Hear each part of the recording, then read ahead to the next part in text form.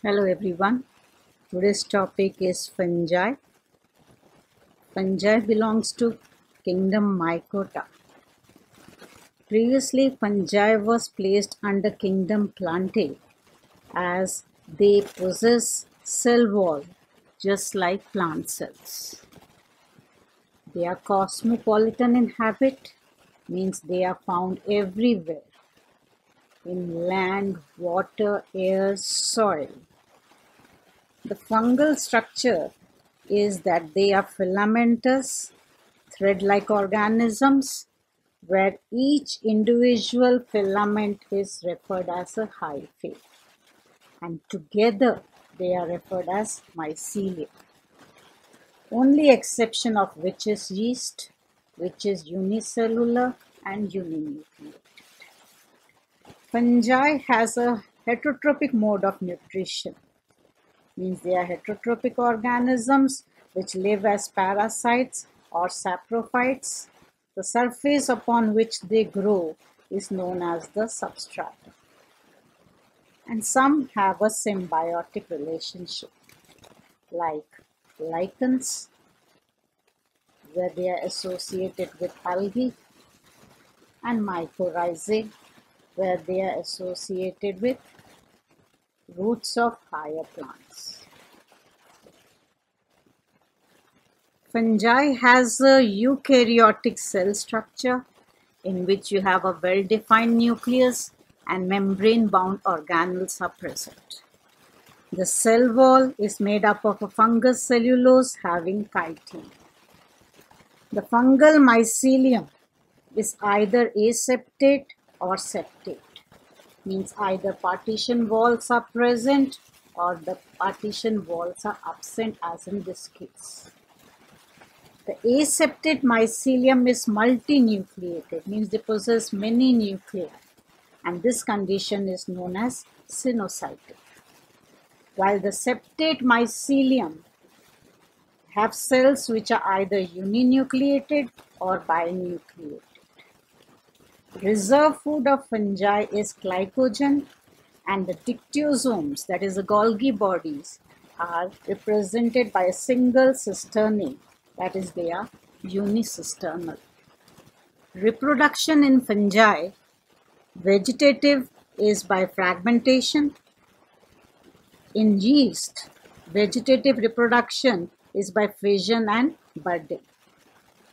Asexual reproduction takes place by different kinds of spores. First are the zoospores. These are motile spores seen in aquatic fungi and they are formed inside special structures called zoosporangia. Sporangiospores, these are unicellular, non-motile multinucleated spores.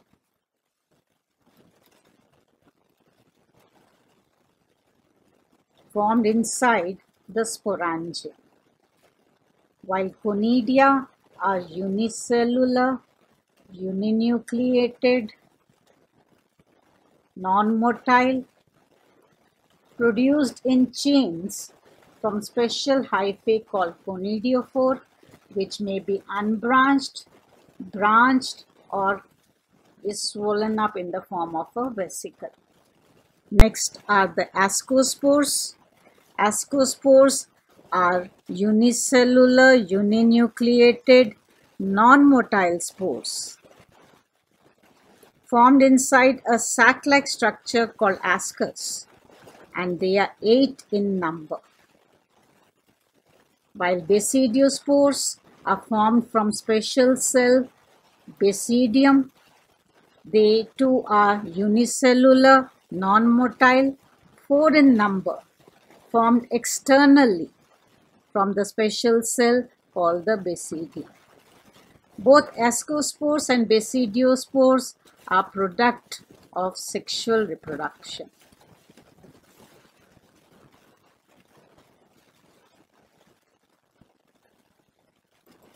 Next, the chlamydospores. These are resting spores formed under unfavorable conditions. In fungi like Rhizopus and Mucor, under conditions of excess sugar, water, and certain salts, the hyphae breaks up into one-cell parts, which are called, called as oidia. They are capable of going into the new mycelium. Sexual reproduction in fungi can be divided into three steps. Plasmogamy, which is fusion of protoplasm without the fusion of nuclei. Next is karyogamy, where fusion of nuclei occurs. In low fungi, karyogamy immediately follows plasmogamy, while in higher fungi, the karyogamy occurs after a considerable length of time, due to which dikaryophase is seen in the life cycle. Means the cells are in the binucleated condition, which is known as a dikaryon. Karyogamy always follows is always followed by meon. Now the different ways in which plasmogamy occur in fungi are first planogametic copulation seen in aquatic fungi. It is fusion of motile gametes. Next gametangial copulation means two gametangia of opposite strain fuse with each other to form the zygospore. Next is gametangial contact, where the male gametangium is referred as antheridium and the female gametangium is referred as ascogonium.